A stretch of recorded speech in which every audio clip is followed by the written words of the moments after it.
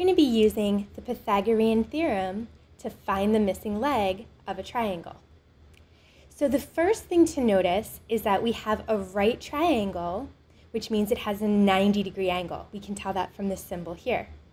The second thing to think about is which ones are the legs and which ones are the hypotenuse, or which one is the hypotenuse. So the two sides that make up the 90 degree angle are the legs. So in this case, it's the side labeled 9 miles and the side labeled A. The hypotenuse is always the side directly across from the 90 degree angle. So the hypotenuse is the side that's labeled 15 miles. The reason that's important is that when our Pythagorean theorem is a squared plus b squared equals c squared. And whenever we use this theorem, we have to make sure that A and B are the legs of the triangle and C is the hypotenuse. So the hypotenuse length always needs to take the place of C. So when I go to plug in my information, I don't know A, so I'm going to leave that as my variable. I'm simply going to write A squared.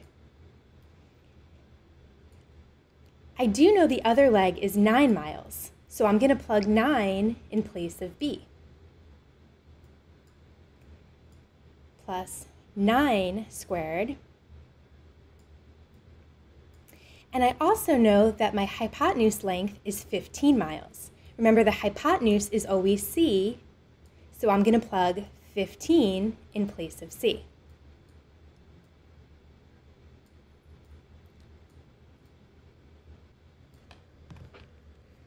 From here, I'm going to solve for a. So a squared, I'm going to leave the way that it is.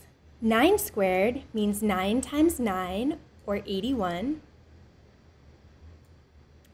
And 15 squared is 15 times 15, or 225.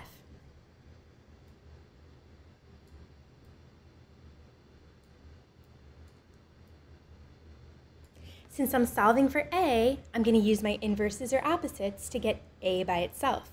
So my next step is to subtract 81 on both sides.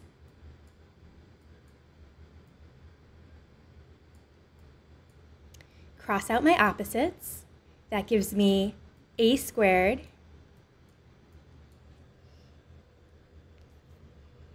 On the other side, I'm just going to subtract. I have 225 minus 81. That gives me 144.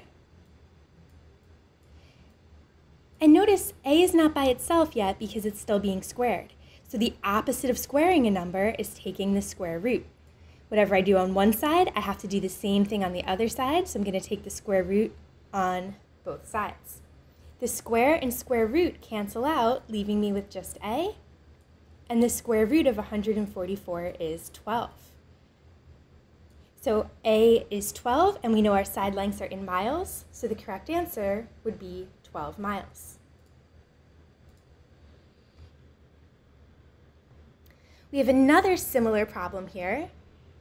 And again, we're going to start by identifying the legs and the hypotenuse. So the legs would be the sides labeled B and 6, since they make up my 90 degree angle. And the hypotenuse would be the side labeled 10 miles, since that's directly across from my 90 degree angle. So my Pythagorean theorem is a squared plus b squared equals c squared, and I'm going to plug in the information from my diagram.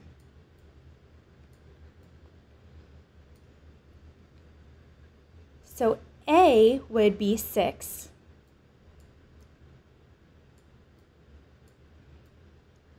B we don't know, so I'm going to leave that as my variable.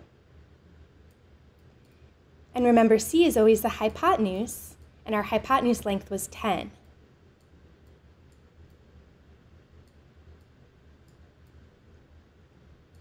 My next step is to square those numbers. So 6 squared, or 6 times 6, gives me 36.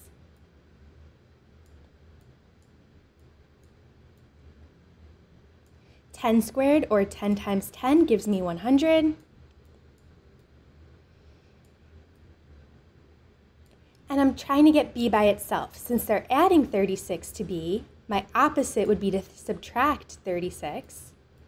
And remember, I'm always doing the same thing on both sides of my equation, so I'm going to subtract 36 over here as well.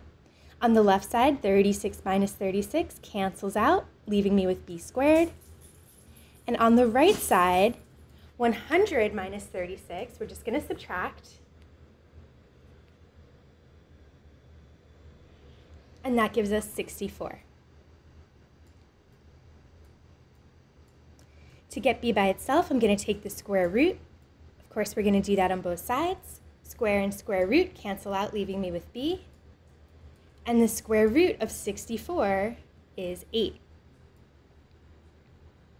So our correct answer here would be 8 miles.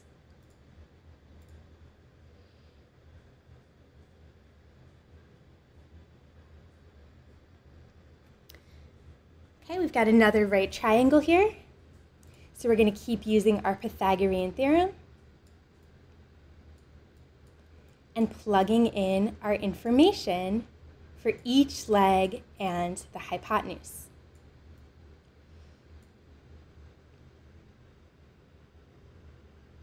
In this case, A would be our leg labeled 8 miles.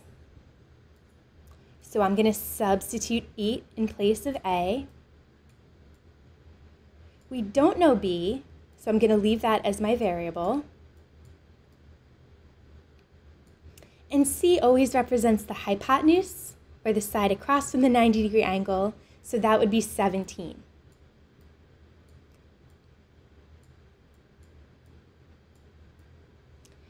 Our next step is to square those two numbers. So 8 squared is 8 times 8, or 64.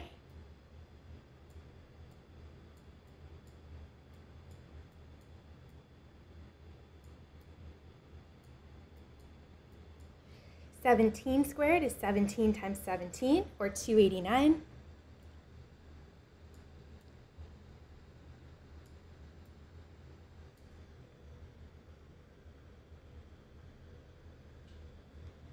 And then from here, I'm going to subtract 64 on both sides.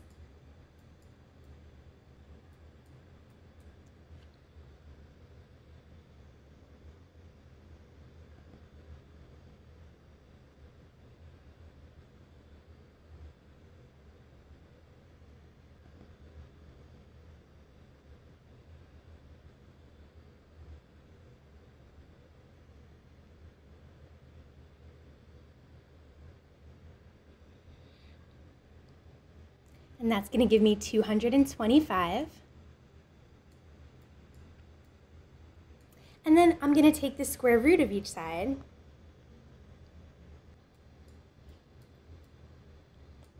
So B would be 15 miles.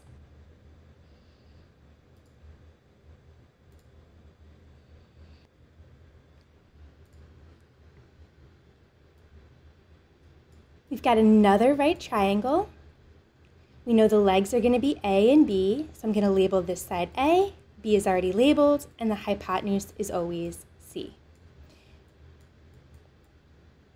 Starting with our formula, a squared plus b squared equals c squared, and then substituting our numbers in. We're going to substitute 12 in place of a. We don't know b, so that's our variable. And we're going to substitute 15 in place of C.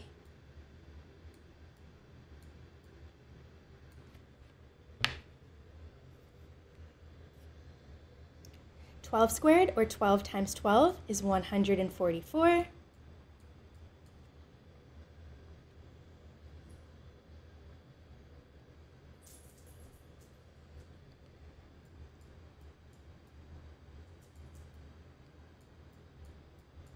15 squared, or 15 times 15, is 225. And then we're going to subtract 144 on both sides.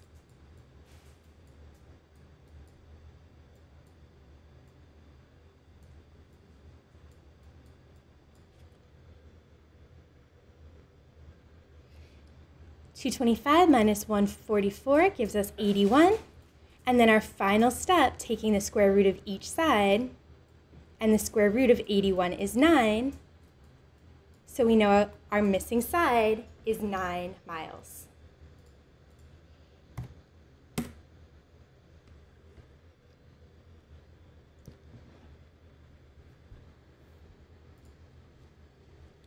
We have another right triangle here. So we're going to set up our Pythagorean theorem, a squared plus b squared equals c squared.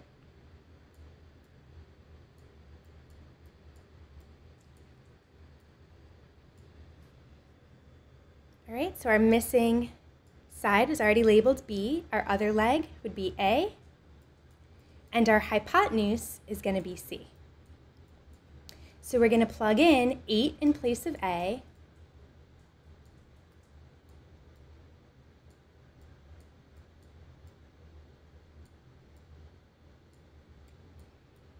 And 17 in place of C.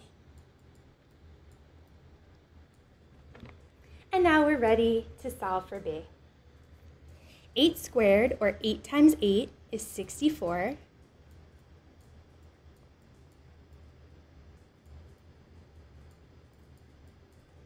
17 squared, or 17 times 17, is 289.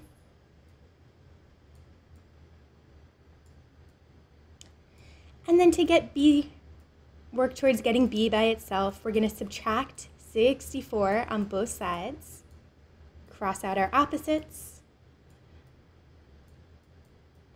289 minus 64 is 225. And then our final step is to take the square root of both sides.